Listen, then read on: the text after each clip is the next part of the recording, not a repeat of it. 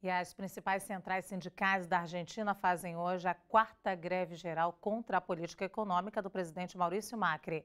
Os efeitos dessa paralisação também são sentidos aqui no Brasil. De São Paulo, Anne Zanetti explica pra gente. Bom dia, Anne. Bom dia, Luciana, a você e a todos. Quem tinha voo marcado para a Argentina hoje vai precisar esperar. Só no Aeroporto Internacional de Guarulhos, o maior do país, 12 voos que estavam previstos para hoje precisaram ser cancelados. Mas a situação se repete em todos os aeroportos aqui do país. Isso porque lá na Argentina os aeroportos estão paralisados por causa da greve geral que também atinge transportes públicos, bancos e outros serviços. A paralisação é um protesto contra os cortes em investimentos que o presidente Macri fez para obter uma linha de crédito de 50 bilhões de dólares, isso tudo do Fundo Monetário Internacional, o FMI.